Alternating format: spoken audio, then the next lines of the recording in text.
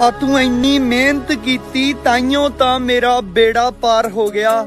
ਕੱਲ ਤੜਕੇ ਤੜਕੇ ਜੀਰੀ ਮੈਨੂੰ ਕਹਿੰਦੀ, ਜੱਟਾ, ਤੇਰੀ ਮਿਹਨਤ ਦੇਖ ਕੇ ਮੈਨੂੰ ਤੇਰੇ ਨਾਲ ਪਿਆਰ ਹੋ ਗਿਆ। ਆ ਹੁਣ ਵੇਖੀ ਚੱਲੀ ਬ੍ਰਾਂਡਡ ਲਫਾਫਿਆਂ 'ਚ ਭਰਨਗੇ। ਆ ਜਿਹਨੇ ਕਦੇ ਧੁੱਪ 'ਚ ਇੱਕ ਦਿਨ ਨਹੀਂ ਖੜ ਕੇ ਵੇਖਿਆ ਨਾ, ਆ ਗਿੱਲੀ ਲਿਆਏ ਜੀਰੀ ਤੁਸੀਂ ਮੰਡੀ 'ਚ, ਲਾਲਾ ਜੀ। ਐਂ ਕਰਨਗੇ, ਮੈਨੂੰ ਪਤਾ ਤੂੰ ਮੈਨੂੰ ਪਾਲਣ ਲਈ ਗਵਾਇਆ ਆਪਣਾ ਚੈਨਾ।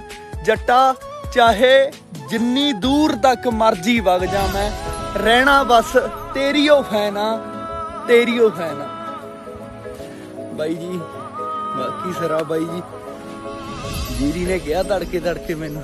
ਆ ਵੀ ਆ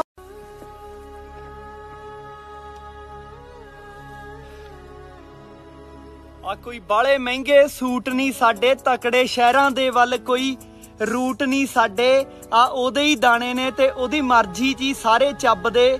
ਆ ਕੋਈ ਰਾਜਾ ਨਹੀਂ ਇੱਥੇ ਤੇ ਕੋਈ ਨਾ ਵਜ਼ੀਰ ਆ ਸੋਹੀ, ਸਭ ਸੀਰੀ ਰਲੇ ਹੋਏ ਨੇ ਉਹ ਰੱਬ ਦੇ। ਅਤੇ